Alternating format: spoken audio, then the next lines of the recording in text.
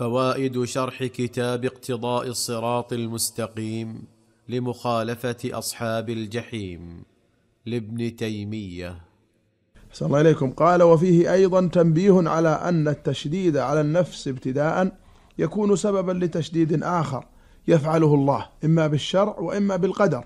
فأما بالشرع فمثل ما كان النبي صلى الله عليه وسلم يخافه في زمانه من زيادة إيجاب أو تحريم. كنحو ما خافه لما اجتمعوا لصلاة التراويح معه ولما كانوا يسألون عن أشياء لم تحرم ومثل أن من نذر شيئا من الطاعات وجب عليه فعله وهو منهي عن نفس عقد النذر وكذلك الكفارات الواجبة بأسباب. وأما بالقدر فكثيرا ما قد رأينا وسمعنا من كان يتنطع في أشياء فيبتلى أيضا بأسباب تشدد الأمور عليه في الإيجاب والتحريم مثل كثير من الموسوسين في الطهارة إذا زادوا على المشروع ابتلوا بأسباب توجب عليهم أشياء فيها عظيم مشقة ومضرة. نعم الله النبي صلى الله عليه وسلم أمر أن نغل في هذا الدين برفق. قال عليه الصلاة والسلام إن هذا الدين متين ولن يشاد الدين أحد إلا إلا غلبه. فأنت لا تحيط بالدين ولا تأتي على الدين كله ولكن خذ منه ما تستطيع. وفي هذا الخير الكثير وخذه بالاعتدال والرفق. لأن هذا أبلغ في في مواصلة السير والاستمرار على العمل. بخلاف الذي يتساهل ثم يريد أن يشد على نفسه هذا لا يصل إلى الغاية. أو المتشدد فإن هذا ينقطع دون الغاية.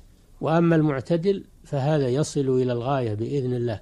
ولهذا قال صلى الله عليه وسلم سددوا وقارب وقاربوا واعلموا أن خير أعمالكم الصلاة ولا ولا يواظب على المؤمن ولا يواظب على الوضوء إلا إلا مؤمن أو كما قال صلى الله عليه وسلم.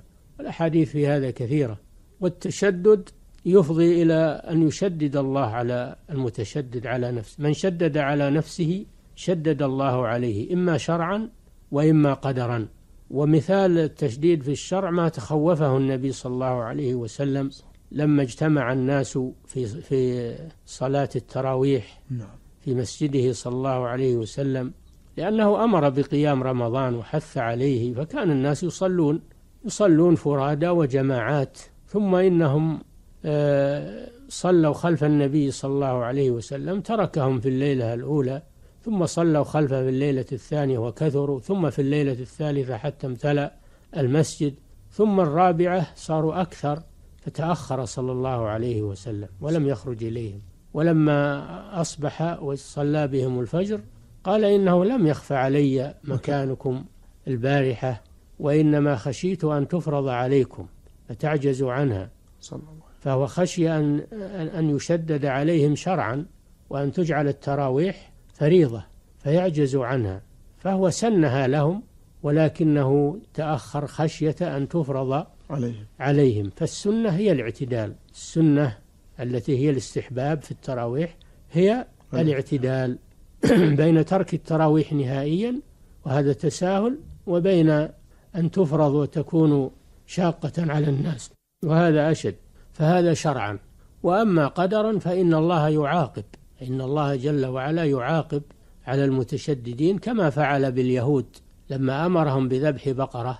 جعلوا يتساءلون ما هي ما لونها؟ إن البقرة تشابه علينا. لو أنهم بادروا وذبحوا أي بقرة لا كفاهم ذلك. فلما تساءلوا وأكثروا السؤال شدد الله عليهم حتى قال فذبحوها وما كادوا يفعل يفعلون بسبب التشدد. فشدد الله عليهم قدرا كما شددوا على أنفسهم. على أنفسهم. نعم. أحسن الله إليكم. حتى قيل إنهم لم يجدوا البقرة التي ينطبق عليها الوصف إلا بملء جلدها ذهبا. جراء ما شددوا عليه. نعم جراء ما شددوا على أنفسهم.